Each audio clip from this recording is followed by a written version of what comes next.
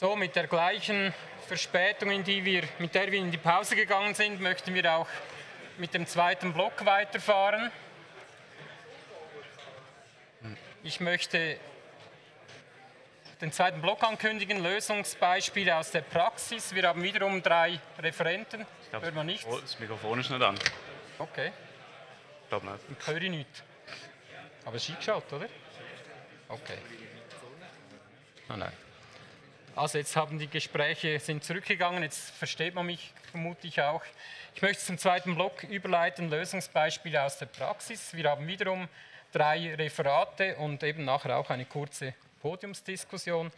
Ich möchte Arno Schlüter ganz herzlich begrüßen. Er wird über adaptive Gebäude im Kontext der Klimaerwärmung sprechen. Arno Schlüter, ich weiß nicht, ob man ihn noch vorstellen muss, er ist seit 2014 Professor für Architektur und Gebäudesysteme am Institut für Technologie in der Architektur an der ETH Zürich.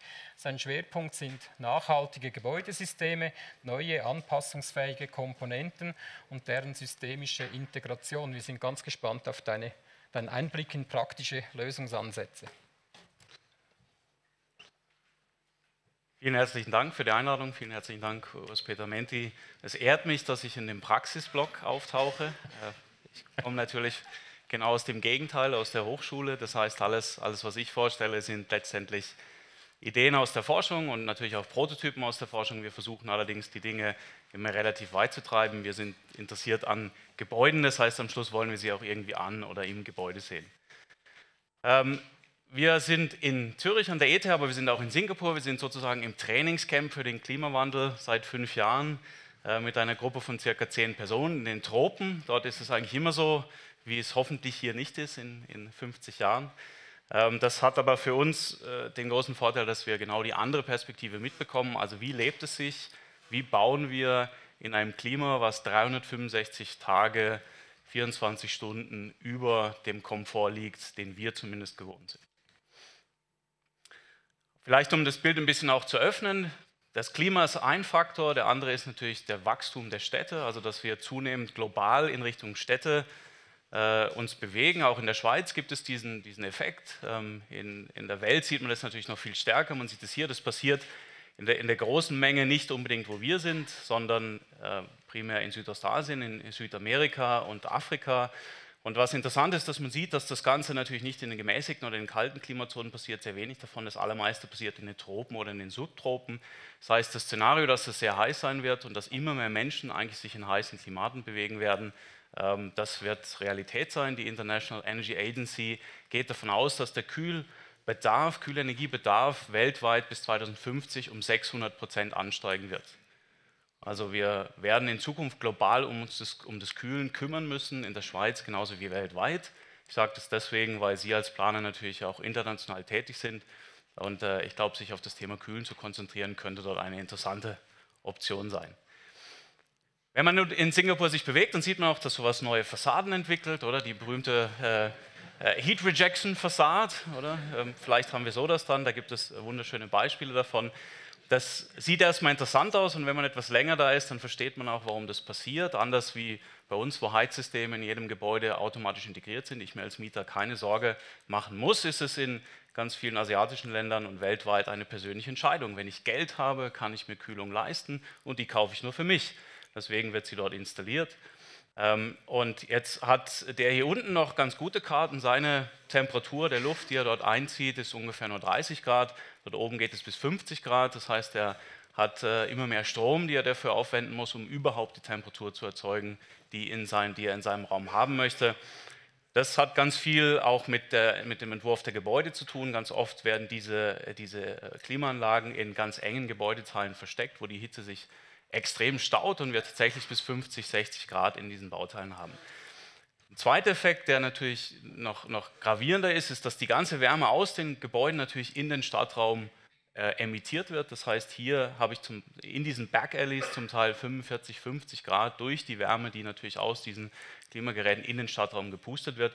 Wir haben sehr, sehr schön schon vom, ähm, von den Hitzeinseln gehört. Das sind natürlich ganz wesentliche Beitragende dazu, wie wir in einem einem gefährlichen Kreislauf diese Hitzeinseln natürlich noch verstärken. Wir kühlen immer weiter runter, wir emittieren immer mehr Wärme in den Stadtraum, deswegen müssen wir mehr kühlen und so geht im Prinzip dieser Loop. Das heißt, wir in, in Singapur konzentrieren uns darauf, völlig ohne diese Geräte äh, arbeiten zu können und mit ganz anderen Kühlideen und Kühlparadigmen zu arbeiten. Das ist ein Beispiel. In Singapur ist dieses Thema des, der urbanen Hitzeinsel schon, schon länger, schon seit den letzten 15, 20 Jahren ein Thema, aus den Gründen, dass natürlich die Klimasituation dort noch etwas extremer ist. Aber der Effekt ist eigentlich identisch mit dem, was wir auch in der Schweiz erleben. Jetzt kann man sagen, was kann man dagegen tun? Und es hat natürlich auch einen Grund, warum die Städte sind, wie sie sind. Ähm, es ist nicht so, dass wir nicht wüssten, wie wir bauen müssten, um das zu ändern. Oder? Wir wissen das schon ziemlich lange. Ähm, wenn wir in die Zeiten zurückgehen, wo wir überhaupt keine fossilen Energieträger hatten, sondern nur erneuerbare, nämlich Holz oder vielleicht die Wärme, die Tiere und Menschen abgestrahlt haben. Oder ich habe gar keine für die Kühlung gehabt, da habe ich sehr genau gewusst, wie ich Gebäude bauen muss, damit ich das Klima innen drin äh, komfortabel halte. Dann gab es eine Zeit, wo wir über sehr, sehr viel Energie verfügt haben und wir diese ganzen Dinge über Bord geworfen haben und uns entschlossen haben, überall, wirklich überall Glashäuser zu bauen. Das hat uns ein bisschen ins Dilemma gebracht, nicht nur energetisch, auch klimatisch. Aber wir wissen eigentlich sehr gut und, und wir müssen das Rad nicht neu erfinden. Wir wissen eigentlich vom Mikroklima bis in die Regelung von Gebäuden über Materialauswahl, Positionierung. Wir haben sehr, sehr viel Wissen, ähm, die, das wir anwenden können, um unser Gebäude eigentlich darauf vorzubereiten. Jetzt kann man darüber spekulieren, warum findet es nicht statt? Und in Teil unserer Forschung versuchen wir Methoden zu entwickeln, äh, mit denen wir diese Dinge und auch andere Dinge zurück in die, besser in die Planung bringen können und sozusagen Analysemöglichkeiten anzubieten, wie man Städte und Gebäude eben anders planen kann. Ich habe vier kurze Themen bei uns aus der Forschung, ähm, die sich mit dem Thema beschäftigen. Das erste ist ein bisschen äh, sperrig, evidenzbasierte Stadtplanung. Da steht nichts anderes dahinter, dass wir Analyseverfahren entwickeln wollen, wie wir so etwas Komplexes wie die Stadt besser planen können, mit ihren Energiesystemen, mit ihrem Mikroklima, mit der Art und Weise, wie sich Nutzer verhalten, wie sich Transport verhält. Wir haben verschiedene Projekte in der EU, in der Schweiz und in Singapur, mit denen wir mit verschiedenen Teams das da angehen. Die Idee ist eigentlich recht einfach. Wir haben immer mehr Daten eigentlich zur Verfügung. Wir haben natürlich wunderschöne geometrische Modelle. Wir wissen also, wie Stadtgeometrie heute aussieht. Wir entwickeln als Teil der Forschung Modelle für Energiesysteme auf einem größeren Maßstab. Also wir modellieren Distriktsysteme für Heizen, Kühlen, für verschiedene erneuerbare Energiequellen auf Gebäudeebene, das ist hier die linke Seite, äh, Entschuldigung, auf Distriktebene ist die linke Seite und dann auf Gebäudeebene. Und wir wissen ja alle, dass die Dinge miteinander zusammenhängen. Also wie soll ich mich entscheiden, zum Beispiel, ob ich an, das auf Gebäudeebene oder auf größerer Ebene regel. Und dann haben wir noch zunehmend Daten, wie sich Menschen in Städten verhalten, äh, zum Beispiel Nutzerdaten. Und diese Dinge zusammenzubringen in einem Planungssystem, erlaubt uns dann Szenarien zu bilden. Das ist eine Planung in Singapur, mit der wir sozusagen optimierte Versorgungssysteme planen, die weniger Wärme in die Stadt ausstrahlen und die gleichzeitig versuchen natürlich so energieeffizient wie möglich zu sein. Das Ganze kann man koppeln mit mikroklimatischer Simulation. Das ist mit unseren Kollegen von der TU Delft äh, und hier auch aus dem Singapur-Projekt, wo man sagt, okay, wir wollen solche Systeme und Gebäude eigentlich planen mit dem Wissen um das Mikroklima der Gebäude, weil wir dann viel, viel besser darauf reagieren können. Und wir wissen auch, was wir aus den Gebäuden zurück in das Mikroklima bekommen. Dann kann man verschiedene Methoden verwenden, das zu optimieren, also zum Beispiel nach, nach äh, äh Lebenszykluskosten und nach ähm, Greenhouse Gases, also nach äh, Treibhausgasemissionen. Und dann kann man Optimierungsverfahren verwenden, indem man ganz verschiedene Varianten davon bekommt, äh, die sich unterschiedlich ausprägen, zum Beispiel kosteneffizienter sind, weniger CO2 emittieren oder eben besser für das Stadtklima. Das zweite Thema ist, wenn man reinzoomt in die Gebäude, datengestützte Gebäudemodellierung. Das ist ein Projekt, was wir schon relativ lange haben. Die Idee dahinter ist ganz simpel. Eigentlich stehen unsere Gebäude ja in der Welt. Es müsste doch sehr einfach sein, mehr über diese Gebäude zu fahren und erfahren und mehr zu lernen. Seit vier Jahren haben wir ähm, ein sehr, sehr schlankes, drahtloses Sensornetzwerk entwickelt, was wir sehr einfach in Gebäude verteilen können, um uns Informationen zu liefern. Ist Heizen das Problem? Ist Kühlen das Problem? Was ist der Einfluss von Nutzerverhalten auf dieses äh, Thema? Und dann können wir relativ schlank diese Daten erheben und sie werden automatisch verarbeitet. Ähm, sie werden analysiert. Da sieht man zum Beispiel für, das sind äh, acht verschiedene Gebäude im Kanton St. Gallen, dass die Durchschnittswerte der Raumtemperatur in der Winterheizperiode weit über 20 Grad zum Beispiel bei allen Gebäuden liegen ähm, und die Schwankungsbreiten enorm sind, was auf ein gewisses Lüftungsverhalten schließen lässt. Wir können über die Luftdichtigkeit Aussagen treffen, äh, zum Beispiel ähm, äh, an, anhand, wie schnell der CO2-Gehalt sich in den Räumen entwickelt. Wir können sehen, wie gewisse Dinge verwendet werden und damit Rückschlüsse auf das Nutzerverhalten schließen. Und warum machen wir das? Um diese Daten am Schluss in verschiedenen Modellen zu verwenden, die uns erlauben, Prognosen zu liefern. Was würde passieren im Jahr 2050 mit diesem Gebäude? Was würde passieren, wenn ich die Gebäudehülle verändere? Was würde passieren, wenn ich zum Beispiel gewisse Eigenschaften der Gebäudetechnik dort drin verändere? Und der Unterschied ist, dass diese Modelle nicht Modelle sind, die ich einfach irgendwie statistisch annehme, sondern das ist ein mathematisches Modell des Gebäudes, das ich tatsächlich gemessen habe. Und dann bin ich in der Lage, entweder über solche physikalischen Modelle oder über ähm, Machine Learning, also maschinelles Lernen, diese Modelle zu verwenden und dann kann ich Prognosen anstellen. Was würde passieren, wenn ich dieses Gebäude sanieren würde? Was würde nach Lebenszyklus kosten? Was wäre die effizienteste Maßnahme, das zu tun? Was hätte den geringsten CO2-Beitrag für den eingesetzten Franken? Alle diese Fragen wollen wir damit beantworten können. Das dritte Thema hat mit, mit etwas zu tun, was wir schon besprochen hatten, mit den Gebäudehöhlen selber, den adaptiven Gebäudehöhlen. Man muss sich überlegen, dass wir eigentlich mit unseren Gebäudehöhlen immer noch ein Stück weit hier sind. Ähm, wir haben sehr wenig Möglichkeiten, auf das zu reagieren, was innen und was außen passiert.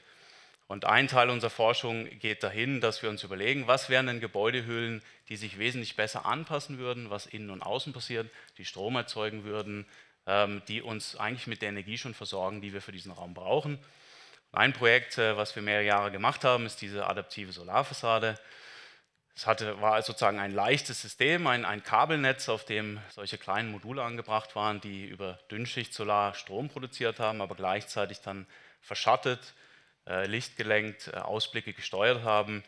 Ähm, und die Idee dahinter war, dass man so ein leichtes Netz über bestehende Gebäude legen kann und damit diese Gebäude mit Strom versorgt, den Komfort erhöht und gleichzeitig ähm, ihnen vielleicht auch ein visuell anderes Äußeres gibt. Das haben wir dann auch gemacht ähm, in verschiedenen Prototypen. Eins wird im nächsten Jahr in dem Nestgebäude in Dübendorf gebaut. Das ist ein sehr interessantes Gebäude, ist bei uns am Campus ein typisches neues Gebäude, voll verglast, zwar mit Sonnenschutz, aber im April schon um die 30 Grad da drin. Ähm, das heißt, unser Raum wurde auf einmal der beliebteste Raum, weil er tatsächlich die Möglichkeit hatte, das Sonnenlicht zu regulieren. Ähm, und wir haben sehr interessantes Feedback erhalten. Natürlich ist das kein Produkt, das ist auch keine Lösung. Man sollte das nicht überall machen.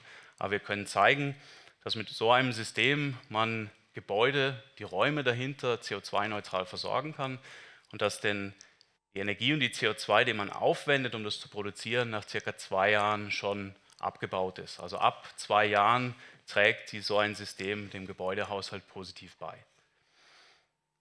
Und dann schließlich das letzte Thema, Lernen vom Nutzer. Wenn man so etwas hat, kann man sich auch überlegen, wie interagiert der Nutzer denn damit, was, wie, wie arbeite ich damit, wie würde ich als Mensch darauf reagieren, würde ich sowas mögen, wie würde ich es denn überhaupt steuern.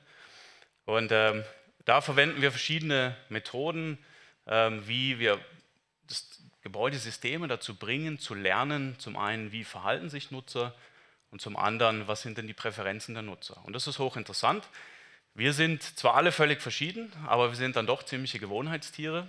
Ähm, wir haben das mit 35 Personen in Singapur gemacht und haben letztendlich das System lernen lassen, wie die Menschen das System verwenden. Und wenn man das weiß, dann kann man zum Beispiel für die Kühlung wechseln zwischen den äh, Temperaturwerten, die man einstellt. Das ist ganz interessant. Wenn ich aus den Tropen komme, bin ich erhitzt, ist mir sehr warm.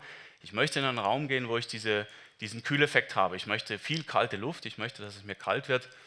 Und diesen Effekt, den schätze ich sehr. Und dann setze ich mich hin und dann sitze ich eine Stunde, zwei Stunden, dann fängt es an, mir sehr kalt zu werden, weil die Temperatur dann doch ein bisschen tief ist.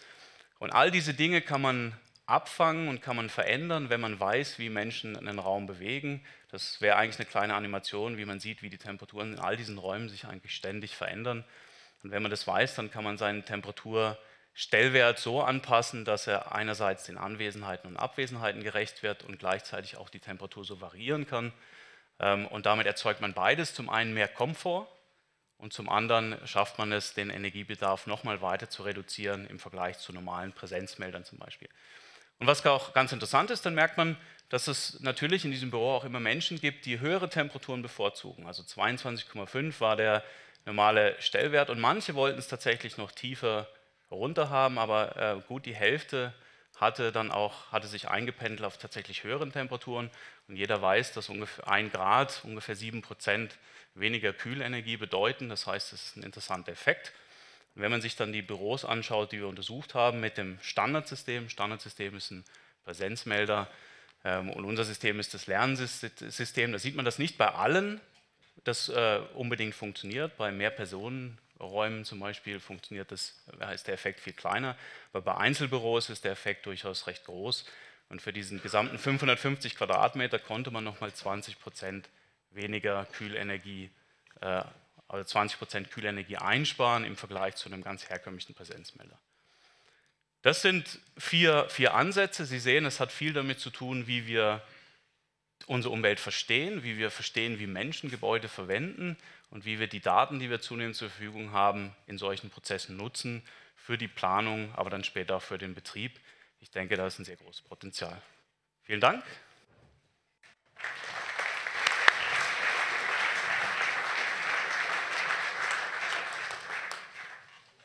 Ja, besten Dank, Arno Schlüter. Wir sehen dank Digitalisierung auch, äh, können wir ein kühleres Klima erwarten, nicht den Klimawandel beeinflussen, aber immerhin ein kühleres Klima erwarten. Auch da wieder Fragen können wir im Rahmen des Podiums beantworten oder diskutieren. Wir gehen weiter zum zweiten Referat von Sebastian Elkouli. Er wird über Nachhaltigkeit im Entwurf, in der Planung und im Betrieb reden, auch Beispiele aus der Praxis bringen. Er ist bei BGP Architekten, ist dort Partner und Mitglied der Geschäftsleitung, leitet den Bereich Nachhaltigkeit und Bauen im Bestand und ist von Haus aus, wie wir dann sicher sehen werden, äh, diplomierter Architekt. Bitte schön. Vielen Dank.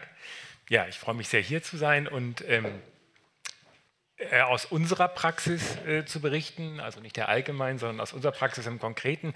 Ich habe natürlich, wir haben natürlich einen sehr viel kleineren Radius und Bandbreite, ähm, als, als äh, Arno das eben gezeigt hat, für die Sachen, die wir realisieren und bauen. Ich werde aber versuchen, anhand von zwei, drei kleineren Beispielen zu zeigen, wie wir versuchen, mit dem Thema jetzt schon umzugehen und was vielleicht auch Perspektiven für den Umgang in der Zukunft damit bietet.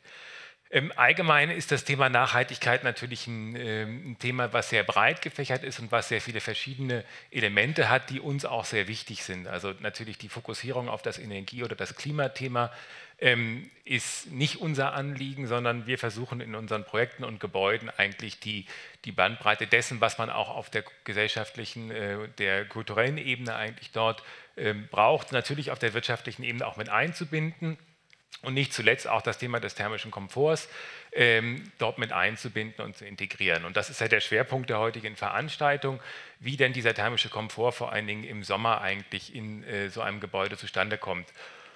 Und wir haben eine, ähm, das Glück gehabt, vor, vor ähm, sieben Jahren eine Anfrage zu bekommen, ähm, ob wir die äh, Schweizer Botschaft und ein Swiss Business Hub in Master City äh, planen möchten in den Vereinigten Arabischen Emiraten. Ähm, damals, das war noch kurz vor, äh, das war noch so, als Mazda noch eine gewisse Dynamik hatte, äh, bevor es dann eine Vollbremsung machte oder fast Vollbremsung machte. Und wir haben damit viel Begeisterung gestartet und eigentlich damit so unsere, unsere ähm, sage ich mal, passiv-aktiven Strategien zur Planung von äh, von Gebäuden auch ein Stück weit wie weiterentwickelt oder geschärft. Und wir haben versucht, auf allen Ebenen, die das Spektrum, was Anna auch schon gezeigt hat, eigentlich bietet, so zu optimieren. Der, der Rahmenplan von Master bietet schon sehr gute Grundlagen ähm, in Bezug auf Verschattung und die gesamten Prinzipien des, des Bauens in trockenheißen Klimazonen. Und wir haben zum Beispiel angefangen, auch im Städtebau das zu machen. Wir haben also haben eine leichte Hanglage gehabt und haben dann eigentlich äh, die Gebäude abgetreppt zu den äh, überwiegend vom Meer kommenden Winden hin, dass es dort eine bessere Durchlüftung gibt. Wir haben dann äh, eigentlich versucht, diese, mit diesen Winden in den engen Innenhäufen zu arbeiten, sie dort eben zur Kühlung zu nutzen. Wir haben natürlich versucht, die, die Fassade, die solare Einstrahlung auf die Fassade zu minimieren mit einer Entwicklung von speziellen Fassadensystemen. Wir haben aber auch versucht, natürlich gleichzeitig äh, weiterhin Blickbezüge nach außen zu ermöglichen. Wir haben dann natürlich äh, Temperatursenken wie in so einem Bereich eines Hofes genutzt, um dann Zuluft anzusaugen. Also eigentlich sehr Standardprinzipien, aber in der Kombination in der Architektur dann eben doch ganz interessant. Und wir haben eben auch dort eben auch gezeigt, Solarkamine eigentlich eingesetzt, um gewisse Zonen im Außenraum dann so zu temperieren, dass man dort eben sich auch noch aufhalten kann, auch bei über 50 Grad im Außenraum. Hm. Und zum Beispiel äh, hier auch nochmal äh, Materialeinsatz, haben wir schon gehört, Lebenbau eingesetzt, äh, Stampflebenwände, um dort eben auch mit der adäquaten Kühlung zu arbeiten, um dort unten eigentlich diese Kältesenken zu erzeugen und Fassaden entwickelt, die dann ähm, eigentlich durch, durch eine ähm, spezielle Generierung des Öffnungsanteils und der Ausrichtung der Fassaden eigentlich ermöglichen, dass ein minimaler Solareintrag nur ins Gebäude kommt. Was natürlich der große Unterschied ist und deswegen nur bedingt übertragbar ist, ähnlich wie in Singapur das Klima aber das ganze Jahr mehr oder weniger ähm, gleich oder ähnlich ist, ist auch in äh, Abu Dhabi das Klima eigentlich, kommt immer von der gleichen Seite, sage ich mal. Es ist immer zu heiß, mal ein bisschen zu heiß nur und mal viel zu heiß. Das heißt, wir haben eine ganz andere Grundvoraussetzung als bei uns mit dem jahreszeitlichen Wechsel. Und deswegen kann man natürlich auch nicht die Prinzipien eins zu eins übertragen. Das wäre jetzt eine Übertragung, wie wir das versuchen, hier auf unsere Klimazone anzupassen. Das ist der Neubau für Dreiplan Haustechnik AG in Winterthur, den wir vor zwei Jahren realisiert haben. Das ist eine Oberwinterthur, eine Gewerbefläche, ähm, die dann zusammen mit, der, ähm, mit einer Holzbau- und ähm, Baumeisterfirma bebaut wurde, die dort ihre Produktionshalle gleich nebenan hat. Und das ist der Neubau für Dreiplan, den wir entwickelt haben. Und wir haben auch vorhin schon über Konstruktionsweisen, über Hybrid- und Massivbauten geredet. Wir haben einen ähm, rein Skelettbau eigentlich gemacht, also einen Stahlbeton-Skelettbau mit Betondecken und einer nicht tragenden Holzfassade ausgebildet, mit einem, mit einem massiven Betonkern in der Mitte, der aber auch gleichzeitig alle äh, dienenden Funktionen des Gebäudes inklusive der Treppe eigentlich beinhaltet und eine große Flexibilität in der, für eine Büronutzung natürlich bietet, Teilbarkeit äh, pro Geschoss, aber auch innerhalb der Geschosse. Und das sieht dann im Regelgeschoss so eigentlich nachher in, in, der Ausführung aus, dass wir diesen Kern haben mit allen Erschließungsmedien und dann eigentlich als Ring drumherum eine Erschließungszone, sowohl Hausmedien wie auch ähm, Menschenerschließungszone und dann die Büroräume ähm, draußen angeordnet, auch mit den Sitzungszimmern. Und im Erdgeschoss gibt es noch ein kleines Restaurant drin, Sitzungszimmer, ähm, Freizeiträume und eben den Haupteingang mit der Eingangshalle. Ähm, was bei dem Gebäude eigentlich die Grundprinzipien haben wir alle heute schon mal gehört. Wir haben versucht, über einen ausgewogenen Fensteranteil, also keine voll verglasten Fassaden, ca. 40 Prozent Fensteranteil sind es in diesem Fall, eine hochwärmegedämmte Gebäudehülle, da wissen wir auch alle, dass uns das auch im Sommer hilft und nicht nur im Winter, und eine optimierte Speichermasse eigentlich in diesem Fall, die wirklich die Aktivierung von Decken und Boden, aber nicht durch ähm, durch äh, also thermische Aktivierung mit Wasser, sondern einfach wirklich nur über eine Luftkühlung, Nachtkühlung eigentlich zu nutzen und dann sie mit aktiven Maßnahmen anzureichern, zu ergänzen. Der Sonnenschutz, der intelligenter Sonnenschutz heißt in diesem Fall einfach nur schon mal eine Rafflamellenstore, die eine äh, Arbeitsstellung hat, die verschieden eingestellt werden kann, oben und unten, um Tageslicht zu reflektieren, wenn unten Blendschutz gewünscht ist. Ähm, wir haben dann ähm, zwei Öffnungsflügel in die Fassade integriert. Das eine ist ein automatisierter Kippflügel ähm, für die Nachtauskühlung, das andere ist ein händisch zu öffnender Drehflügel eigentlich für den Nutzer, der sein Lüftungsverhalten gern selbst steuern möchte. Und dazu gibt es eben noch eine unterstützende eigentlich Kernauskühlung und natürlich ähm, die, die, Minimierung der internen Lasten durch die entsprechenden Leuchten, äh, LED-Leuchten und eine PV-Anlage auf dem Dach mit einem recht hohen Eigendeckungsgrad. Das sieht eben so aus, dass wir versucht haben, das Tageslicht sehr tief in den Raum zu kriegen mit, dieser, äh, mit dieser, diesem Sonnenschutz eigentlich und das sowohl und auch ein Stück weit zu kriegen, Blendschutz und ähm, äh, Belichtung des Raumes. Und das Zweite ist eben, wir haben versucht, diesen Solarkamineffekt auch im Gebäude ein Stück weit zu nutzen. Das Energiekonzept ist natürlich sehr eng mit Dreiplan zusammen entwickelt worden und wir haben da einen äh, natürlich äußerst kompetenten Partner gehabt, der uns da geführt und begleitet hat. Wir haben also im Eingangsbereich im Windfang ein äh, motorisch gesteuertes Oberlicht gehabt, was Einbruch gesichert ist, sodass man dort auch nicht einbrechen kann. Ein Quadratmeter groß, was nachts geöffnet werden kann. Und ein Oberlicht im Treppenhaus oben, was auch ein Quadratmeter groß ist, was eben auch nachts bei Bedarf geöffnet werden kann und dann äh, eigentlich das ganze Gebäude durchlüftet werden kann, der Sichtbetonkern ausgekühlt werden kann zusätzlich die gesteuerten Oberlichtflügel eigentlich, die nachts für eine Querlüftung und Nachtauskühlung sorgen und damit das Gebäude eigentlich dann effektiv runtergekühlt werden kann nachts. Ähm, man sieht hier diesen, diesen oberen Flügel, das ist das Fassaden-Mockup dann mit, diesem, mit dem Sonnenschutz und wir haben dann aus gestalterischen Gründen diese Öffnungsflügel hinter einer Holzlamelle an der Stelle etwas versteckt, um sie besser in die Fassade integriert zu kriegen Das ist dann das Gebäude in der Fassadenansicht von außen, neben der Produktionshalle, die in der gleichen Materialität eigentlich war. Und natürlich hat es aber auch dann Auswirkungen auf das Gebäude selber, auf die Materialität, auf die Atmosphäre. Ähm, und nicht nur auf technische Eigenschaften. Wir haben also dann versucht, aus diesen Anforderungen, die wir haben, helle Farben, hohe Reflexionsgrade, mineralische Oberflächen mit einer hohen Speichermasse, ähm, versucht auch ein Materialkonzept zu entwickeln, was dem eigentlich gerecht wird, ohne dass es deswegen unatmosphärisch oder langweilig ist. Siehst mal so ein bisschen roh ist fertig, also ein sehr rohes Gebäude zu entwickeln, was aber trotzdem dann eben eigentlich die eine entsprechende Wärme mit sich bringt und die Neutralität, die auch so ein Bürobau braucht. Ähm, es gibt also nur einen abgehängten Deckenbereich, der aber auch nur aus Holzlamellen besteht im Korridor, wo dann die Haustechnikführung ist, die in die Büros eingebracht wird und dann eben Sonnenschutz, äh, Heizen, Kühlen vorne an der Fassade, ein Doppelboot, wo die gesamte Leitungsführung ist und nur einzelne Bodendosen an der Fassade. Man sieht das dann im gebauten Zustand, äh, relativ hohen Indirektanteil bei der Beleuchtung auch im Bürobereich, die beiden Lüftungsflügel hier nochmal und dann eigentlich im Erdgeschoss beispielsweise brauchten wir, um diese Nachtauslüftung zu ermöglichen, dann ein brandfallgesteuertes äh, Schiebetor eigentlich, was im, offen, im Betriebszustand offen stehen kann, äh, um eben diesen Nachtauskühlungseffekt durch das Sichtbetontreppenhaus eigentlich zu ermöglichen. Und äh, unterstützt wird das Ganze eigentlich von einer reversiblen äh, Wärme- und Kältenetz und äh, Abgabe eigentlich über so einen äh, no, 10er Nova Neo Heizkühlkörper, der eigentlich in der Lage ist, sowohl zu kühlen auch wie zu heizen. Einfach nicht beides gleichzeitig, sondern eben nur getrennt voneinander, dementsprechend auch die beiden Kreisläufe vorhanden sind. Und um das zu können und um vor allen Dingen die, die äh, Übergangsphasen in den Griff zu kriegen, ist es eben wichtig, ein Gebäude mit einer Speichermasse zu haben, wo wir eigentlich sowohl auf Heizen wie auch auf Kühlen verzichten können. Das heißt, wir haben im Sommer, sieht man hier jetzt, äh, im Winter sieht man ganz schön eigentlich die Heizlast, die im Dunkelrot sich zeigt und im Sommer die Kühllast, die diese äh, Heizkörper mit sich bringen. Aber gerade in Übergangsmonaten, im Frühjahr und im Herbst eigentlich, können wir mit der Gebäudemasse des Gebäudes selber eigentlich quasi das ausgleichen, um behagliche Temperaturen zu erzeugen. Und das sind die, die Transitsimulationen, die während der Planung gemacht wurden, und, um eben zu zeigen, wie viele Temperaturen wir denn drunter und drüber haben. Äh, das Behaglichkeitsdiagramm haben Sie auch schon gesehen heute aus der SIA. Und ähm, Sie wissen alle, der Anlass, auch warum wir auch hier sind, ist der, sind die Temperaturkurven des letzten Jahres mit Temperaturen bis 37 Grad.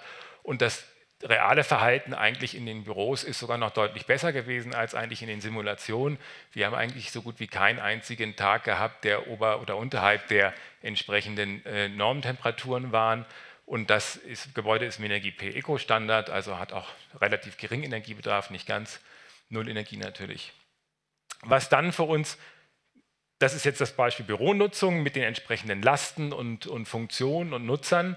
Ähm, es gibt natürlich andere Nutzungen, das ist heute auch schon angeklangt, ähm, dass es gewisse Nutzer gibt, die besonders empfindlich reagieren auf die Temperaturen und das ist eins unserer Kernbereiche, eigentlich das Plan für Menschen im Alter. Und ähm, im letzten Sommer gab es eben auch jede Menge in der Presse zu dem Thema eigentlich, wie alte Menschen auf diese Situation reagieren oder wie es für sie ist. Aber auch eben, dass Klimaanlagen an sich vielleicht nicht der beste, die beste Maßnahme sind, einfach alles mit Klimaanlagen auszustatten. Und da wir in den letzten Jahren relativ viele Alters- und Pflegezentren realisiert haben, haben wir dann im September mal so ein Rundmail gemacht oder vielmehr die entsprechenden Leiter der Heime angefragt, wie denn ihre Erfahrungen waren und dann auch einen Rücklauf bekommen. Ähm, zum Beispiel eben jetzt hier ähm, vom Alterszentrum Appenzell. Unsere Mitarbeitenden haben gut auf die große Hitze reagiert und jeweils nachts bis zum frühen Morgen durchgelüftet und dann die Fenster geschlossen, sodass angenehme, für unsere Bewohner verträgliche Temperaturen behalten werden konnten. Oder hier eine ähnliche Aussage, wie Sie wissen, haben wir ein Minergiehaus mit integrierter Lüftung. An heißen Tagen muss man sich an gewisse Regeln halten, so haben wir ein sehr angenehmes Klima im Haus. Zu den Regeln nur am Morgen früh lüften, anschließend die Fenster den ganzen Tag zulassen, am Morgen schon über die Stofflamellen schon runterlassen. Und wenn man im Sommer bei 30 Grad in unser Haus kommt, empfindet man es als kühl und sehr angenehm. Ähm, die Temperaturen, die wir mitgeliefert bekommen haben, davon sind auch ähnlich. Wir haben auch dort äh, Daten, die alle in dem Behaglichkeitsbereich eigentlich liegen. Und dann gab es ein Gebäude, was gesagt hat, wir hatten einen ziemlich heißen Sommer.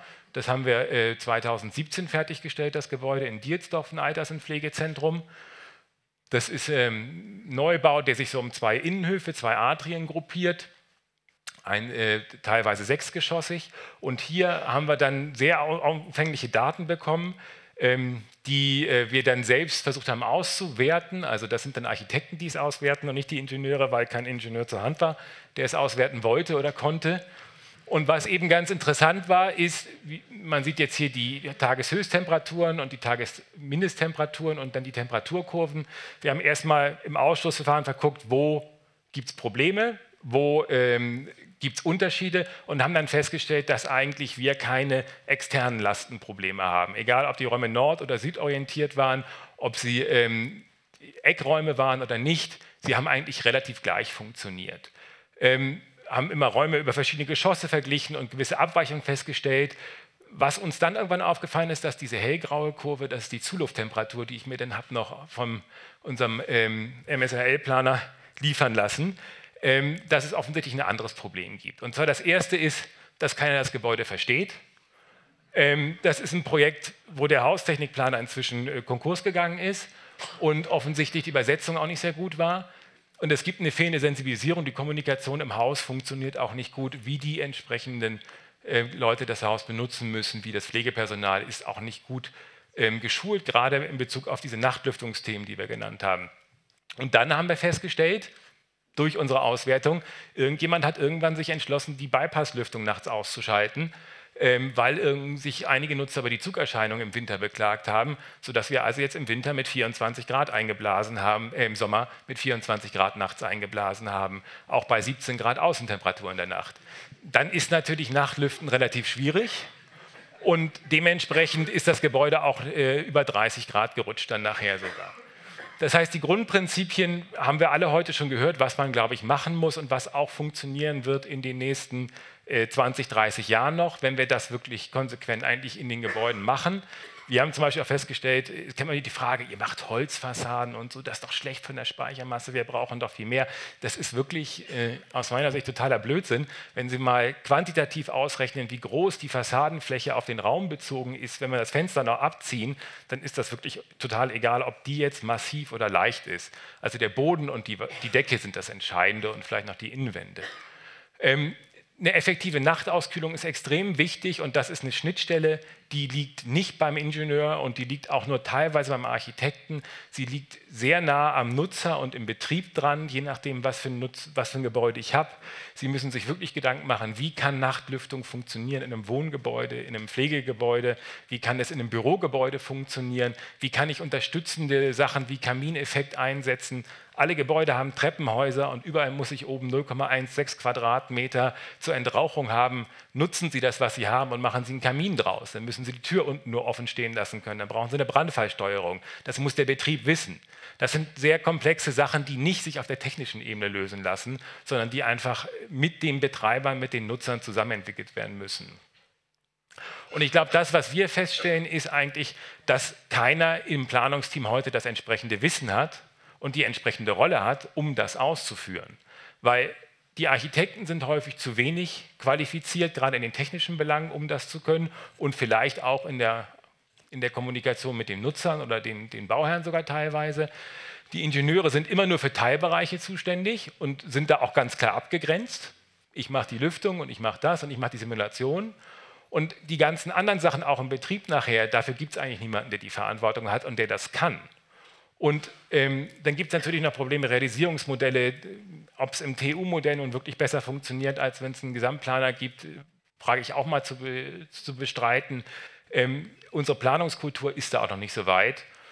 Und ich glaube eben auch, dass wir nicht darauf hoffen sollten, dass BIM das Problem für uns löst. Das kann uns vielleicht bei der Planung helfen bei der ganzen Sache, aber letztendlich geht es darum, dass wir auf eine andere Art und Weise zusammenarbeiten müssen. Und zusammenarbeiten heißt nicht nur im Planungsteam, sondern mit den Betreibern, mit den Bauherren, mit den Nutzern zusammenarbeiten müssen, um nachher ein Konzept zu haben, was auch im Betrieb funktioniert.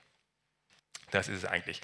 Ähm, das sind eigentlich auch schon die Fragen, die ich jetzt so ein bisschen im Ausblick habe, was ähm, was ich glaube, was es braucht vor allen Dingen, ich glaube, wir brauchen nicht vor allen Dingen technische Lösungen oder nicht primär technische Lösungen, die brauchen wir auch sicherlich.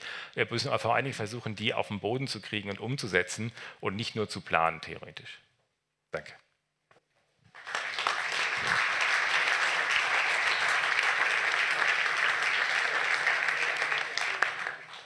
Besten Dank. Ist schon ein gutes Zeichen, wenn die Architekten beginnen, Excel-Auswertungen zu machen, was die Ingenieure nicht können oder nicht wollen. Aber ich denke, das spricht für Interdisziplinarität.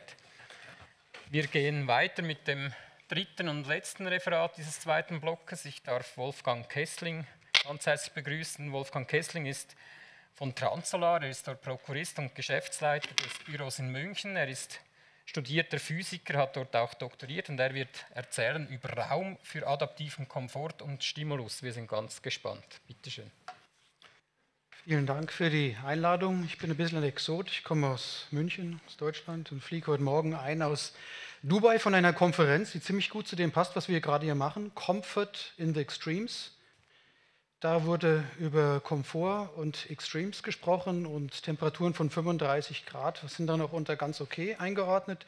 Ab 40 Grad macht man sich Gedanken, bei 42 Grad vielleicht nur noch ein paar Stunden am Tag. Und ab 50 Grad, dann muss man wirklich was unternehmen.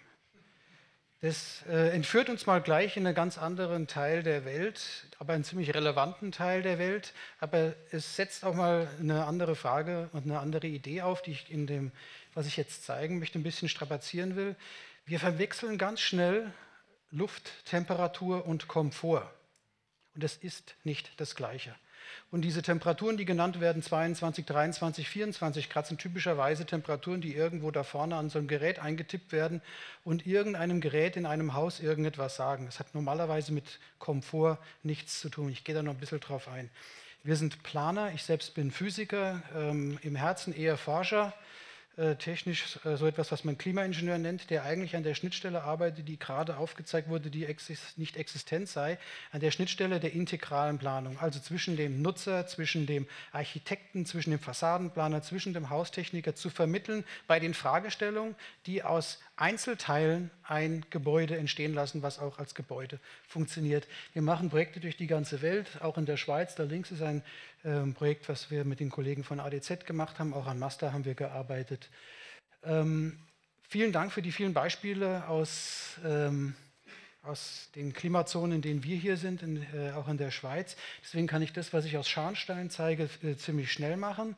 Ich möchte nämlich eigentlich über ein Element reden, was wir fast, oder über ein Argument reden, was wir häufig vergessen, was uns aber weiterhilft im Verständnis, nämlich Autonomie. Gebäude heute sind eigentlich von Architekten gedacht und delegieren das technische Problem an die Technik. Löst bitte mit Technik das Problem. Sonnenschutz, Lüftung, Heizen, Kühlen. Ich übertreibe ein bisschen, aber nur um es klar zu machen, ich möchte niemanden damit beleidigen. Gebäude, die autonom sind, die können aus sich heraus Lüftung, die können aus sich heraus Tageslicht, die können aus sich heraus thermischen Komfort bieten und haben damit Eigenschaften, die äh, insbesondere dann gefragt werden, wenn die Klimabedingungen sich ändern, aber auch unter ganz absurden Bedingungen, die jetzt gerade in Dubai diskutiert wurden. Was passiert eigentlich, wenn mal drei Wochen der Strom ausfällt in Caracas und ich im neunten Stock eines Hochhauses wohne? Dann müssen Häuser wieder das können, was sie früher können, konnten, nämlich aus sich heraus funktionieren.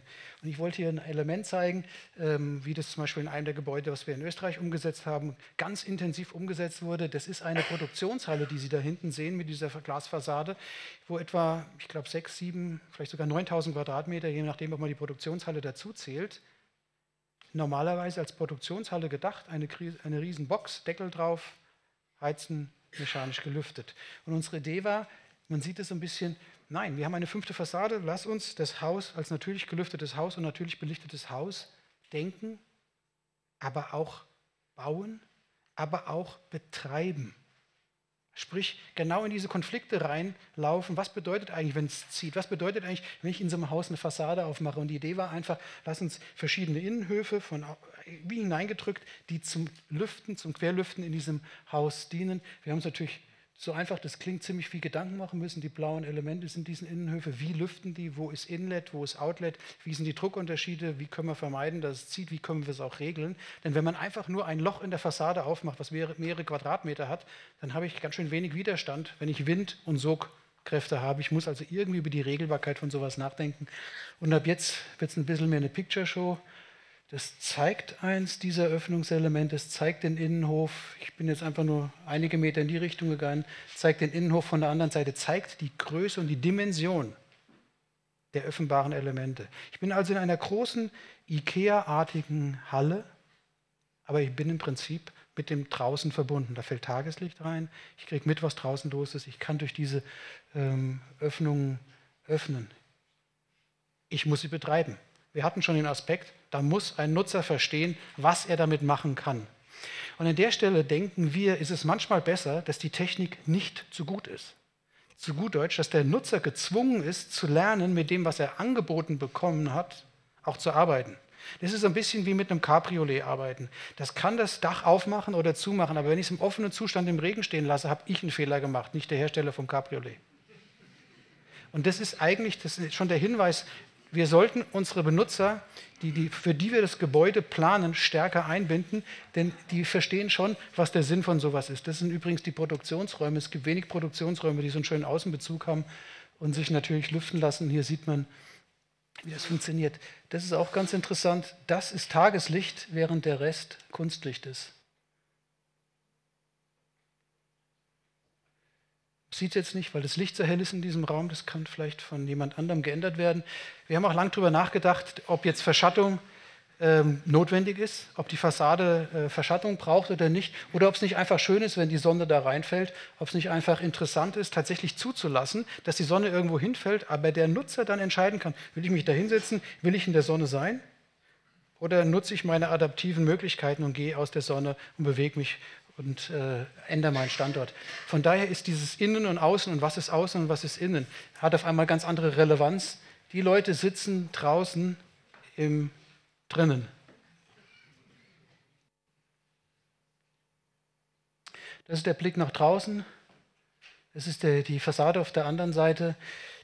Solche Ansätze sind vielleicht es hören sich vielleicht radikal an, aber im Prinzip sind sie nicht radikal. Die führen einfach dahin zurück, dass wir mit dem Klima arbeiten, was wir haben, dass wir nur radikal denken, was wollen wir eigentlich? Muss es wirklich die Maschine sein? Muss der Raum wirklich total runtergedämpft sein in seinen Temperaturschwingungen? Müssen es drei, vier Grad sein? Oder kann man nicht etwas mehr Stimulus bieten? Und dieses Thema möchte ich ganz kurz aufgreifen. Die, Tag, die Konferenz hatte viele Argumente in dem Bereich gehabt. Wenn man Leuten stärker einem Stimulus aussetzt, sowohl wenn es kälter ist als auch wärmer, und viele von Ihnen erinnern sich vielleicht dran, ich weiß nicht, wie der Spruch genau ist, aber irgendwie eine kalte Dusche am Tag im Winter verhindert den Arzt. Der Spruch wird bestimmt ganz anders gehen. Aber er zeigt, er zeigt, auf was es hinausläuft. Und das wird von vielen Studien weltweit bestätigt. Es sind Menschen, äh, setzen wir uns selbst einem stärkeren Stimulus aus, sowohl in, in die Kälte als auch in die Wärme, sind wir den Hitzewellen und den Kältewellen wesentlich stärker äh, gewappnet, sie, sie besser zu überstehen. Studien zeigen darauf hin und die werden weitergedreht. Die werden nämlich in die Richtung weitergedreht, ganzheitlichen Komfort zu denken, nicht nur in Lufttemperatur. Und die Beispiele, die ich jetzt gleich habe, äh, zeigen das. Nullenergiehaus, finde ich ein super äh, wichtiges Thema, ist auch in, diesem, äh, in dieser Produktionhalle erreicht worden. Ich springe nach Singapur, wir waren da schon, äh, weil es einfach äh, ein, eine Möglichkeit äh, über dieses Beispiel des, der äh, Schule, die wir dort geplant haben, zeigt, nochmal das Thema Komfort anders zu verstehen. Das ist die School of Design in Singapur, ähm, die Universität, in der die letzte 30 Jahre die Generation der Architekten und Designer in Singapur ausgebildet wurde. Die Alma Mater dort, die Leute, die dort heute Ingenieurbüros, Architekturbüros betreiben, sind an dieser Universität ausgebildet worden. Der Kunde sind also Professoren, die unterrichten im Design, Professoren, die unterrichten in Haustechnik. Das sind normalerweise Leute und die Professoren hier im Raum können es bestätigen, die alles besser wissen. Die wollten ein Nullenergiehaus haben mit einem ganz klaren Brief wunderbare Tageslichtversorgung, am, am, am, liebsten noch ein Faktor 4 in Grünflächen, was, das, also was der Footprint des Hauses ist. Der ähm, braucht viermal so viel Grün zurückgeben, ähm, natürlich lüften, wenn es geht, äh, ganz niedrigen Energieverbrauch und ein Nullenergiehaus soll es auch sein. Wir haben uns die Definition als wir in das Projekt kamen, ähm, mit dem Kunden zurechtgelegt. Also wenn wir Nullenergie machen, dann nehmen wir eine ganz harte Definition. Das heißt, das Gebäude kann nur Energie auf dem eigenen Fußabdruck ähm, produzieren. Wir können es uns nicht von irgendjemand leihen oder vom Parkplatz oder vom Nachbarhaus, denn wenn die auf die Idee kämen, Null-Energiehaus haben zu wollen, dann wollen die ihr eigenes Dach benutzen. Das führt zu einer schnellen, schlichten Überlegung. Wenn äh, ich 260 Kilowattstunden pro Quadratmeter typischerweise pro Jahr in Singapur auf dem Dach mit Photovoltaik produzieren kann, das ist schon die bessere. Weil der Standard aber bei 250 über Office-Gebäude ist, bei äh, Universitätsgebäuden aus einem unerklärlichen Grund sogar noch höher. dann zeigt es schon, dass ich da eigentlich nur mit einem Dach ein Geschoss bauen kann. Aber die, das, der Designbrief und die Anforderungen vom Kunden in die Richtung gingen, äh, wir hätten gerne vier, wenn es geht sogar fünf Geschosse. Das zeigt, dass man mit Energie sehr vorsichtig umgehen muss und das zeigt, dass man ganzheitlich drauf schauen muss, für was brauche ich Energie.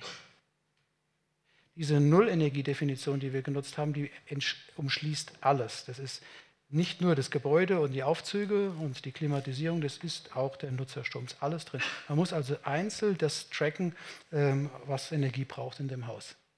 Die architektonische Idee ist ziemlich schlicht. Bau keine Box in den Tropen, wo es eigentlich ziemlich einladend ist.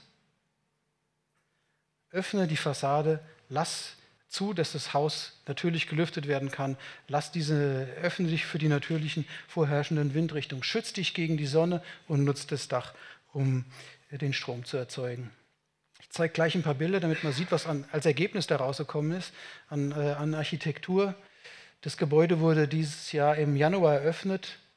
Viele der Flächen sind tatsächlich draußen, sind vor der Sonne geschützt, vor der direkten Sonne geschützt, sind nicht so sehr vor dem diffusen Licht geschützt, das spürt man hier schon, sind zum Teil vor dem Regen geschützt. Es wird auf vieles geachtet, zum Beispiel diesen Baum zu erhalten, strenge Vorgaben. Arno Schlüter kennt es, die Vorgaben in Singapur, da muss man den Baum einzeln retten oder auch erhalten und das haben sie in dem Fall gemacht, steht noch innerhalb der Gebäudegrenzen. Und ist eigentlich ein ziemlich interessantes Gebäude dafür, dass es nur, ich sage es ein bisschen sarkastisch, für Studenten ist. Es wird aber, es wird aber der Ort sein, in der die nächste Generation von Studenten lernen wird, dass Gebäude richtig cool sein können, dass Gebäude Nullenergiehäuser sein können, dass Gebäude komfortabel sein können und richtig anders gedacht sind. Jetzt komme ich nochmal zu dem Thema Komfort zurück. Aber man sieht zunächst mal die Studenten. Es ist ein Ort für Menschen und es war von Menschen her gedacht.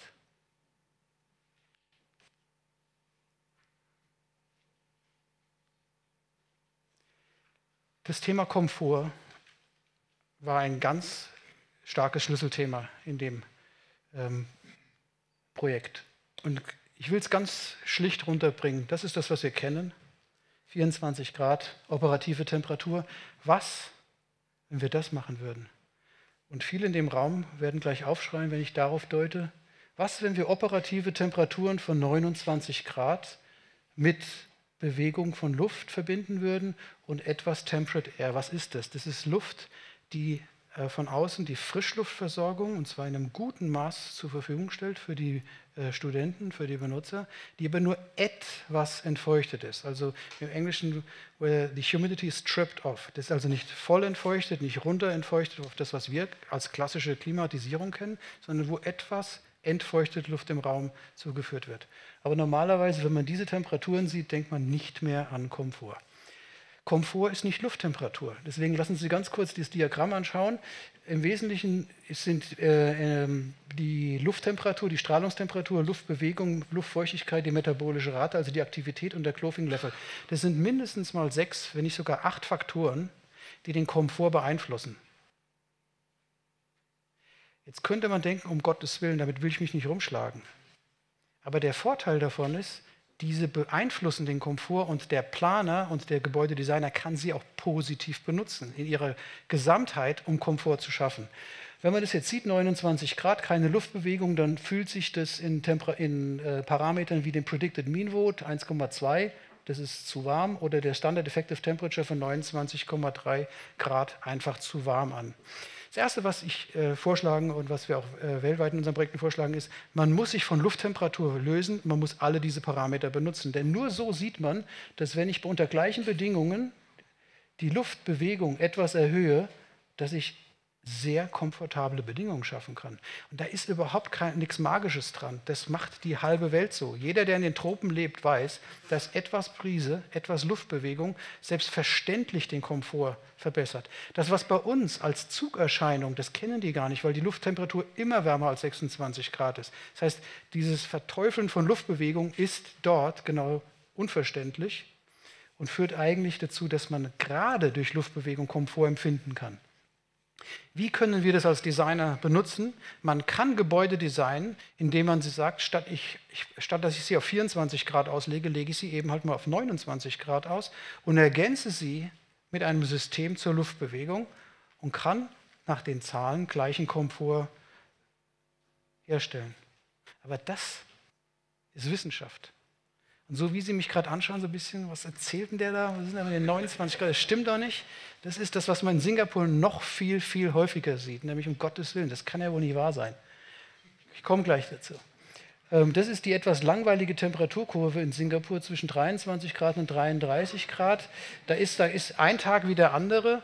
Äh, es ist, wie vorher genannt, es ist immer gleichmäßig feucht draußen und warm. Ähm, da ist nicht viel zu gewinnen. Wenn ich über dieses Diagramm mal drüber lege, was adaptiver Komfort bedeuten würde, darf ich ganz kurz fragen, wer hat schon mal adaptiven Komfort gehört? Es sind schon mal ein paar. Äh, ich gehe davon aus, dass etwas weniger als die Handzeichen für adaptiven Komfort geplant haben. Aber das Interessante ist, dass dieses grüne Band, was ich hier drüber lege, zeigt, was unter Definitionsbedingungen von Ashray das Beste ist, was man komforttechnisch machen kann, wenn man den adaptiven Komfort mit Luftbewegung denkt.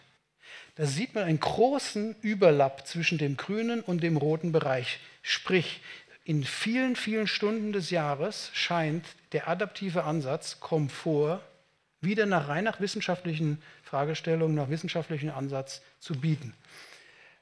Ähm, wenn man das weiterdenkt und ähm, die Klimabedingungen zum Beispiel für ein ähm, äh, air-conditioned Gebäude untersucht, dann äh, würden das die Umgebungsbedingungen sind, die haben wir mal eingezeichnet, damit das Bild nicht so leer ist. Das ist das im Prinzip, was die Klimabedingungen im Raum sind. Da erzeugt man natürlich mit 4, 26 äh, Grad und 50 Prozent relative Feuchte, erzeugt man äh, komfortable Bedingungen zu dem Preis der Energie, äh, den ich hier rechts aufgezeichnet habe. Wenn ich einen adaptiven Ansatz wähle, habe ich höhere Temperaturen im Raum, ziemlich ähnlich komfortable Bedingungen, aber deutlich reduzierte äh, Energieverbrauch. Wenn man das mal zum Anlass nimmt und sagt, okay, dann lass uns doch mal den, den Weg wirklich aus äh, zu Ende gehen, lass uns zu Ende denken, was können wir mit adaptiv machen, dann äh, haben wir tatsächlich unseren Kunden, an den ich nochmal erinnern will, das sind die, die unterrichten, das sind die Professoren, das sind die, die äh, Professoren, die Mechanical Engineering seit 30 Jahren in Singapur unterrichten, ziemlich herausgefordert. Nämlich genau an dem Punkt, wir machen was anders als das, was ihr seit 30 Jahren unterrichtet. Und das Schwierige daran ist, man fordert diesen Herrn raus, das ist der, einer der erst, das ist der erste Staatspremierminister, ähm, vielleicht ist es richtig zu sagen, mit der äh, Staatengründer ist nicht, der ist für, diesen, äh, für dieses Zitat ziemlich bekannt. Äh, das wichtigste, die wichtigste Erfindung des letzten Jahrhunderts war die Klimaanlage, weil nachdem sie installiert wurde, hat es die Effizienz in, in der Verwaltung gefördert. Was auch immer Sie jetzt denken darüber, ich denke, er hat recht gehabt. Es ist wichtig, dass wir komfortable Bedingungen in Gebäuden herstellen. Und die Antwort der 80er Jahre war Klimaanlage. Und heute wissen wir es besser. Heute kann man anders designen. Denn das hat dazu geführt, dass diese typische Konstruktion in Singapur überall akzeptierter Standard ist. Ich habe über zehn Gebäude mit meinem Team an Singapur gearbeitet und in einigen von denen ist die, ist die abgehängte Decke so, dass ich durchlaufen kann. Ich bin 1,76 groß und das ist typischerweise 1,80 und mehr. Ich könnte in der abgehängten Decke laufen. Das sind unglaubliche Dinge, aber akzeptierter Standard in Gebäuden. Ähm, was, zu was führt das? Das führt zu extrem hohen abgehängten Dichten, Decken und Arno äh, Schlüter kennt dieses Bild. Wenn man daran arbeitet und das verbessern kann, dann kann man in der gleichen Höhe fast ein Geschoss gewinnen wenn es gelingen würde, die Klimatechnik anders zu denken. Aber funktioniert es? Und die ganze Theorie, die ich gerade vorgestellt habe, und ich brauche jetzt leider noch drei Minuten, die ganze Theorie, die ich vorgestellt habe, die hat uns einfach niemand abgenommen. Dann kam, äh, wir haben uns überlegt, wie können wir jetzt den Kunden, wie können wir uns selbst, wie können wir uns die Sicherheit verschaffen, dass das funktioniert. Und das United World College hat gesagt, Leute, es interessiert uns, was ihr da macht. Ihr könnt unsere Schule haben, und unser Facility Management hilft euch, die Bedingungen so umzustellen, dass ihr genau das vorher dass ihr das einstellen könnt und vorhersagen könnt und vorher erlebbar machen könnt, was in Zukunft in dieser Schule gebaut wird. Und wir haben eine komplette Woche einen Seitenflügel von der Schule umgestellt auf die Temperatur und die Feuchtigkeitsbedingungen, die wir uns vorstellen. Es hat eine Woche gedauert, weil das Ding so runtergekühlt war und so viel thermische Masse hatte, dass wir erstmal ein komplettes Wochenende gebraucht haben, um überhaupt an den Temperaturbereich zu kommen, dem wir arbeiten wollten. Wir haben dann mit unseren Messinstrumenten nachgewiesen, wo wir etwa sind, auch den CO2-Gehalt gemessen. Ich komme gleich nochmal drauf, weil das wichtig war. Und haben dann, die Professorin, ich habe sie extra ein bisschen unscharf gemacht hier, äh, mitgebracht. Ich sage es aus dem Grund, weil ich mich selbst noch höre, wie ich sage, ich verteidige hier nicht meine Bachelorarbeit. Hört auf, so zu fragen. Ich stelle meine professionellen Fähigkeiten als Klimaingenieur hier zur Verfügung, um mit euch gemeinsam ein Haus zu planen. Aber bitte verwechselt mich nicht mit euren Studenten. Äh, unter anderem aber Leute, die in den internationalen Komitees sitzen, ASHRAE, Normungskomitees für den Komfort, die natürlich ihre eigene Meinung dazu hatten, ob das jetzt gut ist, was da drin steht, oder ob man jetzt tatsächlich was Neues machen sollte. Schlicht am Ende, nach einigen Stunden, einigen Stunden dort. Und die, die ganz klare Frage schon, ist das jetzt schlecht? Würdet ihr jetzt irgendwas ändern wollen? Also nicht die Frage, fühlt ihr euch unkomfortabel, sondern was wollt ihr jetzt eigentlich ändern? Das drückt diesen Impuls aus, dass kein Impuls da ist. Es drückt genau aus, da ist kein Wunsch da, ist weder in die eine noch in die andere Richtung, haben wir gemeinsam mit dem Bauherrn beschlossen, lass uns das konsequent zu Ende gehen, lass uns konsequent für den adaptiven Komfort planen und bauen, mit der Konsequenz, dass wesentliche Teile des Gebäudes natürlich gelüftet, äh, Hybrid Temperate waren, das ist, was ich gerade beschrieben habe, und nur eigentlich die Energy Labs, und einige zentrale äh, Computer Labs äh, voll airconditioned sind, beziehungsweise auch das, äh, die Bibliothek, die steht jetzt da nicht dabei. Es war also im Wesentlichen nicht eine technische Herausforderung, sondern es war eine Herausforderung mit dem Team und mit den Leuten, tatsächlich diesen Sprung zu machen, in ein anderes Thema über Komfort zu denken. Ich habe das Beispiel so, äh, so, so stark und intensiv besprochen, weil wir uns selbst fragen müssen, was machen wir eigentlich hier? Wo wir leben, wo wir planen. Ist wirklich der enge Komfortbereich, für den wir planen, ist das wirklich, was die Menschen brauchen? Oder gibt es hier nicht Möglichkeiten, ganz anders über Komfort zu denken, diesen Bereich Lufttemperatur hinter uns zu lassen und ganzheitlich über Komfort nachzudenken? Von daher nicht lachen über die Doofen dort, sondern schauen, was wir hier verbessern können. Und warum ist das relevant? Das ist relevant, wenn man sich anschaut, was weltweit passiert, wo gebaut wird, dann reden wir den, seit, 19, äh, seit 2015 bis 2030 über 84 Billionen Quadratmeter. Das sagt Ihnen genauso wenig wie mir. Das bedeutet, dass in diesen 15 Jahren, von denen sind schon vier Jahre vergangen, dreieinhalb Mal die gebaute Infrastruktur Nordamerikas gebaut wird oder siebenmal Hongkong im Jahr. Und das ist jetzt nicht auf meinem Mist gewachsen, das hat McKinsey für uns rausgefunden. Da wird richtig viel gebaut. Und wo wird es gebaut? Wenn man sich diese Statistik anschaut und Sie suchen jetzt mal ganz schnell die Schweiz, Sie werden sie nicht finden. Sie werden auch Deutschland, Sie werden Europa. Europa ist unterhalb der statistischen Signifikanz hier. Was wir hier machen, auch wenn es extrem wichtig ist für uns, ist unrelevant, wenn es um globalen Bauboom, wenn es um globalen äh, Relevanz von dem, was wir machen in CO2, ist unrelevant. 80, 60 Prozent von dem wird in Asien gebaut und der größte Teil von dem, wir hatten das gerade vorher schon, wird in warm und feuchten Klimazonen gebaut. Von daher ist es extrem relevant, wie wir Gebäude designen was wir von unserem Know-how aus kalten Klimazonen auf warme Klimazonen übertragen, weil es einfach kopiert wird. Diese Bilder stehen alle in Indien. Die schauen aus wie Downtown Chicago. Die stehen in fünf verschiedenen Klimazonen von Indien. Sie sehen es den Bildern nicht an. Es ist extrem relevant, was wir darüber denken, wie Komfort eigentlich und was Komfort eigentlich ist. Wie definieren wir Komfort? Wir müssen hinter uns lassen, was wir aus Dänemark gelernt haben vor 30 Jahren. Wir müssen unser Wissen über Komfort erweitern. Es ist vorhanden. Es ist eher an uns, ob wir das akzeptieren und uns damit professionell auseinandersetzen. Denn dann gelingt es einfach, andere Gebäude zu bauen, die komfortabel sind und deutlich weniger äh, Energie verbrauchen und damit deutlich weniger zur CO2-Emission global beitragen. Herzlichen Dank.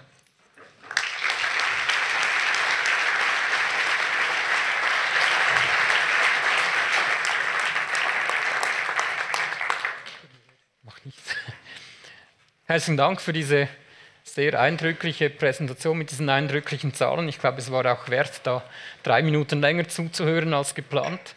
Ich möchte jetzt auch nicht allzu lange mit Fragen da das Ganze zerstören, aber trotzdem bitte ich die Referenten vom zweiten Block kurz nach vorne, werde kurz mit je einer Frage die Eröffnung machen und dann haben wir noch ein paar Minuten Zeit für Fragen aus dem Publikum.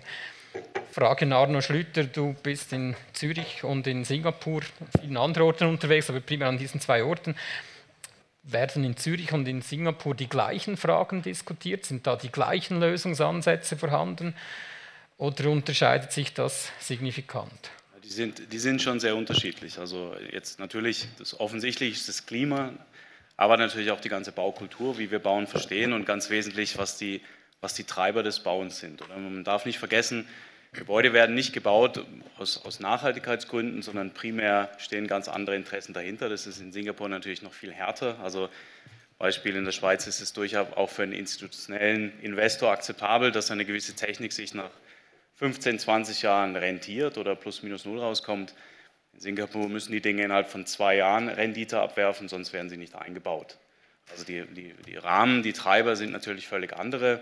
Auch darf man nicht vergessen, dass, dass es auch Gründe gibt, warum die Gebäude dort so aussehen, weil man natürlich mit Gebäuden auch andere Funktionen erfüllt, wie zum Beispiel Repräsentation oder Darstellung von, von Wichtigkeit und Macht und all diese Dinge. Und solange die Energiekosten so gering sind, ähm, werden natürlich solche Entscheidungen immer nach, weiter nach hinten gelegt. Was, was hingegen gleich ist, was man merkt, ist natürlich ein steigendes Bewusstsein gegenüber Klimawandel, ähm, urbane Hitzeinseln, aber auch ähm, CO2-Reduktion. Also Singapur hat sich relativ stark committed, die CO2-Emissionen zu senken.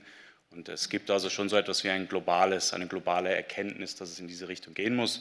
Aber die Rahmenbedingungen, die Treiber und auch die Mittel dahin sind völlig anders. Vielleicht als Übergangsfrage dann zu Herrn Kohli. Wird in Singapur Low-Tech auch diskutiert? Also man, man muss ähm, sich vor Augen halten, dass Singapur aus Low-Tech kommt. Also die 80 Prozent der Wohnbauten in Singapur werden von dem Housing and Development Board entwickelt, dem HDB, und die sind per se nicht klimatisiert. Das heißt, es ist die Regel, das Gesetz in Singapur, dass alle Schulkinder bis zum Alter von ca. 14 Jahren in natürlich belüfteten Schulgebäuden unterrichtet werden. Also man, man kommt aus dieser, dieser Tradition und es gibt, das ist wunderschön, das ist, was ich auf dieser einen Folie hatte, es gibt natürlich wunderschöne Methoden und äh, Wolfgang Kessling hat es auch gezeigt, wie man mit natürlicher Luftbewegung, wie man mit einfach äh, natürlichen Phänomenen und Methoden relativ weit kommen kann. Und dann hat sich aber irgendwie auch aber durch den Lee Kuan Yew festgesetzt, dass es eben die Produktivität erhöht, dass wir diese klimatisierten Räume haben wollen. Und das ist eben soziokulturell, es ist gar nicht Komfort, es ist soziokulturell. Es bedeutet Fortschritt, es bedeutet Weiterentwicklung, es bedeutet, dass ich in der ersten Welt bin, wenn ich einen klimatisierten Raum habe. Da geht es nicht primär um Komfort, sondern es geht eigentlich, was das, was das bedeutet, einen klimatisierten Raum zu haben. Ja. Und diese Dinge muss man mit einbeziehen. Also das sind, wir kamen sehr stolz in unser Gebäude und haben gesagt, ihr, ihr, es ist jetzt wärmer, es ist besser, es passt besser auf euren Komfort nach allen Kriterien.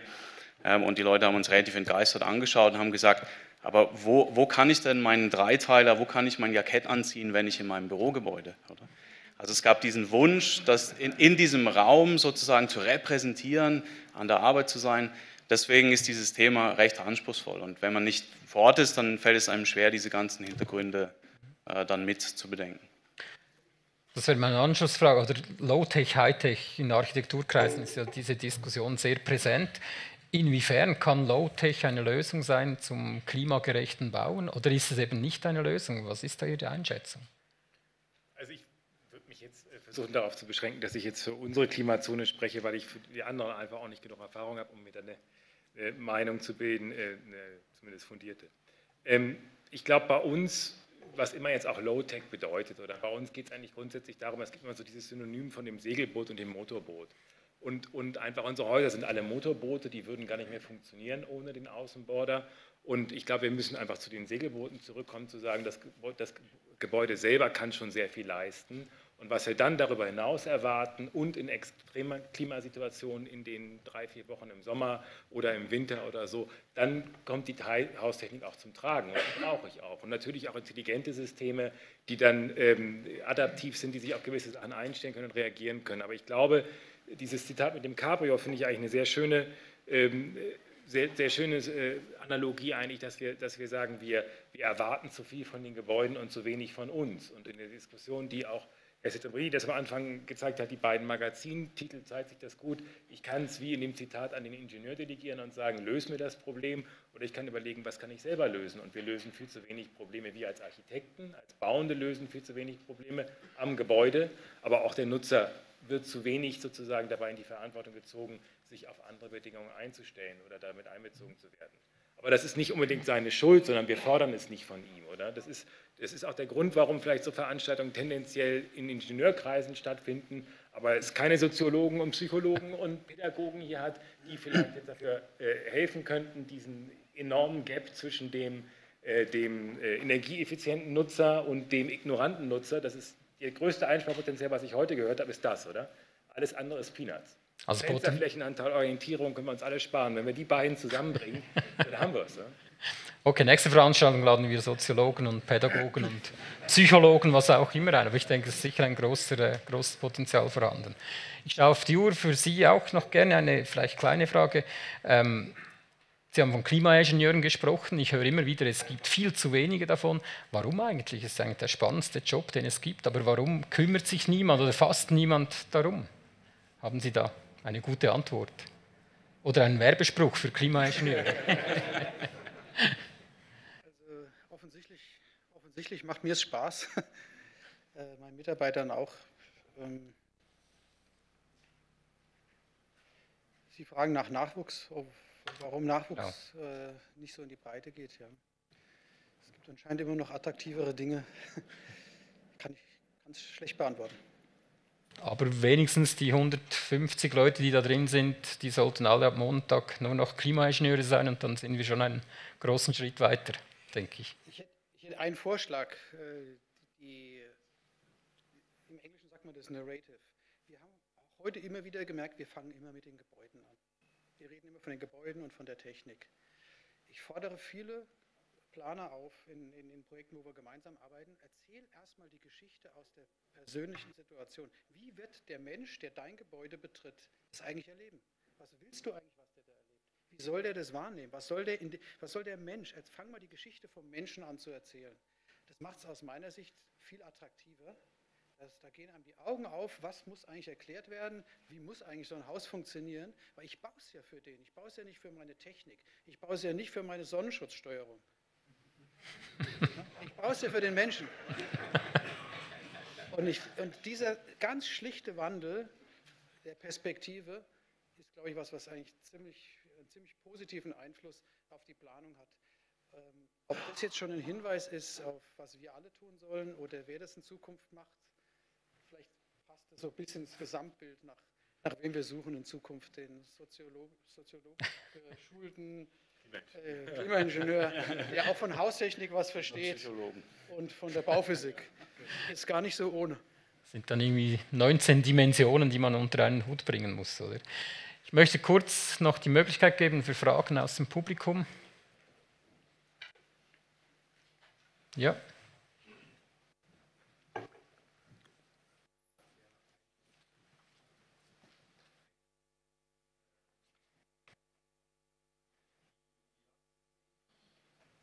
Wie lassen sich die, diese passiven Systeme übersetzen auf urbane Standorte? Das Beispiel aus Österreich, das war auf dem Land, sage ich jetzt mal, so, zumindest habe ich das so aus den Bildern herausgeschätzt. In Singapur, keine Ahnung, kenne ich nicht, ist ja wohl eine Stadt. Aber wenn wir uns jetzt schweizerische Städte vorstellen, äh, dicht, äh, Eisenbahnlinie, Verkehr, Lärm, Staub, äh, wie, las, wie lassen sich solche Konzepte übersetzen auf diese Rahmenbedingungen? Also ich denke, äh, wenn ich jetzt einfach nur mein Haus denke, ich wohne in der Innenstadt von München. Das ist jetzt nicht so ein absurd anderes Klima, als die Schweiz hat. Ähm, das lässt sich passiv sehr gut betreiben. Es ist jetzt kein Passivhaus, weil für eine innenstädtische Lage es viel wichtiger war, sich an die Fernwärme anschließen zu lassen, aber dafür kein Auto mehr zu haben. Aber das hat immer noch das Potenzial mit thermischer Masse, was, was Sie vorgestellt haben. Das hat immer das Potenzial, dass ich sicher lüften kann und das Fenster auf und zu machen kann. Und ich denke, allein schon dieser kleine Aspekt, neben der Autonomie für, was jetzt Autonomie für, für Lüftung darstellt, und in der Kombination mit Nachtlüftung von Komfort, in der Kombination mit Tageslicht, das lässt sich auf Innenstädte übersetzen. Ich glaube, das ist nicht so sehr die, die Frage, die mich umtreiben würde. Was, was mich eher beschäftigt ist, muss ich es immer für diesen engen Komfortbereich, der hier immer genannt wird, 22 Grad planen? Da würde ich sagen, nein. Bei uns im Büro hat es 29 Grad und alle die Kollegen, die einen haben wollten, haben einen, einen, einen äh, Dyson-Fan und können damit rumexperimentieren, damit sie uns sagen können, wie sie das nächste Haus besser machen möchten. Und da, gibt's, da ist kein Wort von Klimaanlage und da fordert auch keiner das. Die fühlen sich dennoch wohl. Also ich würde eher an so Fragen stellen. Ist es, es gibt Normen ohne Ende für, für Physik, für Material, für alles Mögliche. Aber es gibt ganz wenig Normen, die tatsächlich auf den Kern dessen zielen, für was wir eigentlich planen, auf den Menschen. Ich glaube, an der Stelle ist das zumindest was die Erkenntnis, die ich von dieser Konferenz in, Dubai mitgebracht habe. An der Stelle wird sich in den nächsten Jahren sehr viel ändern müssen, damit wir radikal werden, weil die anderen Dinge, die wir gesehen haben, die machen 3% hier, 5% da. Aber wenn wir wirklich weniger Technik einbauen wollen, wenn wir wirklich andere Dinge machen wollen, ohne aufzugeben, was Komfort angeht, dann müssen wir das besser verstehen und das besser adressieren. Fast schon ein Schlusswort. Trotzdem noch die Möglichkeit für eine kurze Frage. Ja, da war etwas.